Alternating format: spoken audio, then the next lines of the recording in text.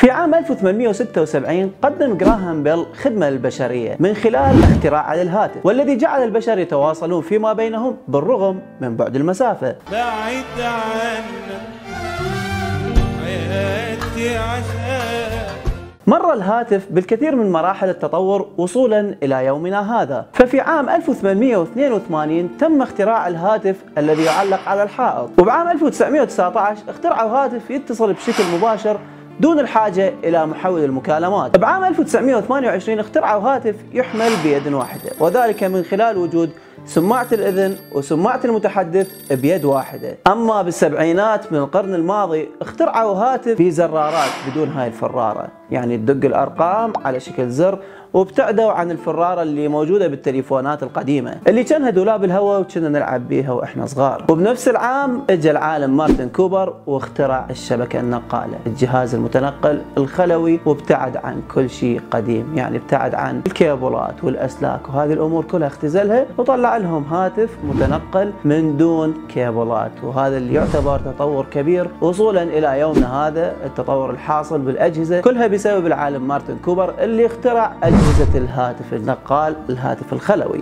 هذه كلها تعتبر مراحل تطور الهاتف بالعالم. أما إحنا كرياضيين شلون تطورت كرة القدم عندنا بالعراق. السلام عليكم ورحمة الله وبركاته، يا رب تكونوا بخير، أنا حسام إبراهيم وياكم.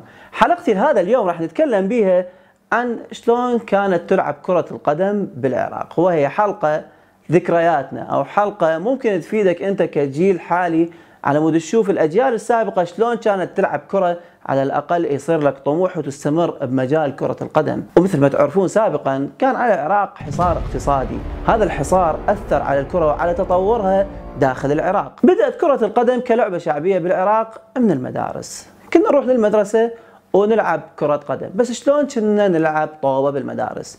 كانت أكو ساحة عبارة عن ساحة كونكريتية بكل مدرسة.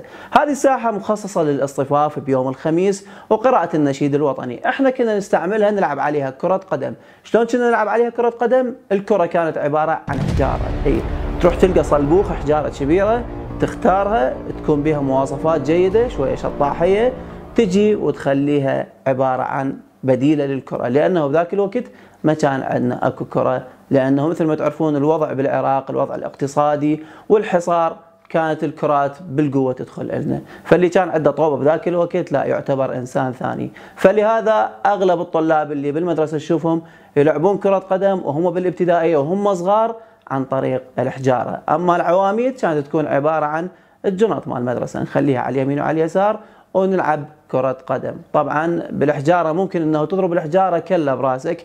الأمر طبيعي عادي وإذا ضربتها كلة تعتبر أنت لاعب مميز والكل يصفق لك والكل يعجب بيك. فبالتالي كانت أكو عندنا حافز معنوي كبير من نلعب بالحجارة ونضربها كلة ونفوز. طبعا يمنع منعا باتا أن يوقف أحد الطلاب ورا الساحة مال الصفاف. لأنه باختصار اللي يشوت الطوبه ممكن الشوطه مالته تخلي الحجاره تنطلق انطلاقة جدا قوية وتروح ورا الهدف وممكن تصيب اللي واقف ورا الهدف برأسه وبالتالي ينفشخ وتصير لنا مشاكل بالمدرسة وتنتهي اللعبة. فمن كنا نلعب ممنوع واحد يوقف ورا الهدف منعا للمشاكل بعد أن عنجر رأسنا وتعودنا على الحجاره قررنا أن نغير شوية. فلا بد من أن نتطور ونواكب التطور. وبالتالي تركنا الحجاره وتحولنا صرنا نلعب بقواضي البيبسي إي أي واحد يجي من البيت ويشوف بطريقة قوطية بيبسي يجيبها ويانا المدرسة نجعصها ونلعب بها بساحة الاصطفاف كرة قدم.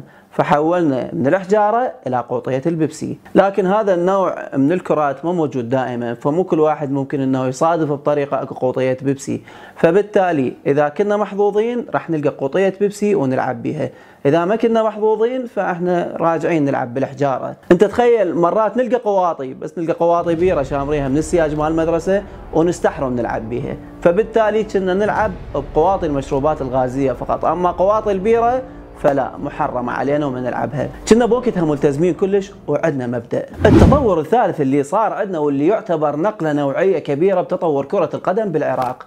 تركنا قوطية البيبسي وتركنا الحجار وانتقلنا إلى الطوبة النايلون. هاي الطوبة النايلون اللي ألوان عبارة عن حمراء خضراء.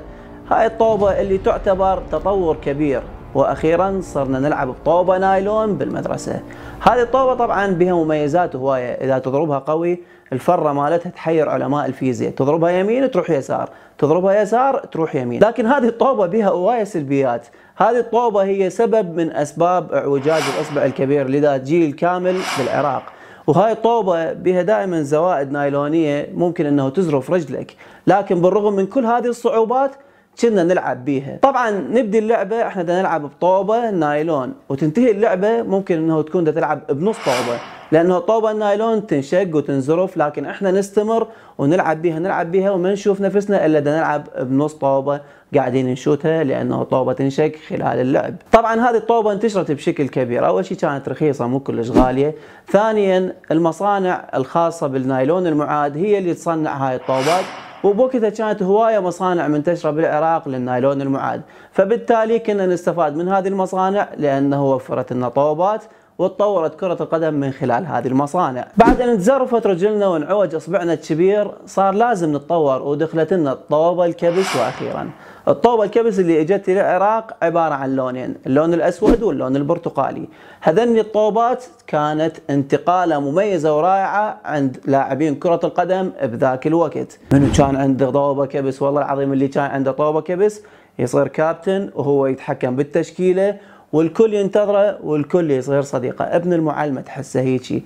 من يجي هو تبدي اللعبة ومن يطلع هو تنتهي اللعبة. هذه الطوبة بها مميزات حلوة لكن إذا ضربتها كلها برأسك وصديقك رافعها إلك ممكن إنه تظل ساعة كاملة أنت دايخ لأنه إحنا متعودين على الطوبة النايلون متعودين على الحجارة فجأة تطورنا وصرنا نلعب بطوبة كبس وتجي تضربها خصوصا إذا صديقك دائما متعود يرفعها لك نقر. فأنت هنا تتورط تجي تضربها كلها براسك اي تسجل هدف ممكن لكن راسك يبقى ساعة دايخ وأنت دايخ وتقعد ممكن نص ساعة إنه تنتظر إيش وقت تصحى من الطوبة هذه. اسوء شيء بها إنه هاي الطوبة إذا راحت على نخلة ترجع لك مزروفة، وإذا راحت على بيت ممكن انه ما يرجعوا لك إياها عادي. بعد الطوبة الكبس والتطور مالتها وسعرها الغالي كان لازم يصير أكو بديل منافس لهذه الطوبة.